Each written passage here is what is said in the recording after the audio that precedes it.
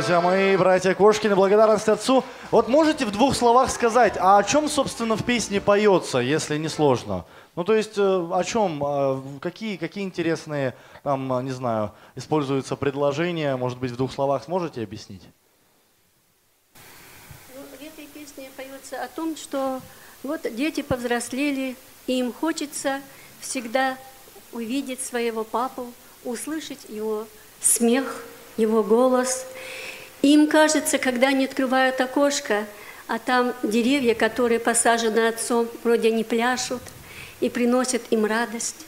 И поэтому они всегда говорят, хотелось бы видеть отца, хотелось бы слушать его голос и хотелось бы увидеть его смех.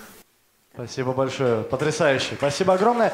Ну а мы продолжаем, и сейчас, что называется, об отцах рассказали, и пришла пора сказать и о матери. О матери, да, пожалуйста, сейчас Федоровна. благодарность мати- матерям.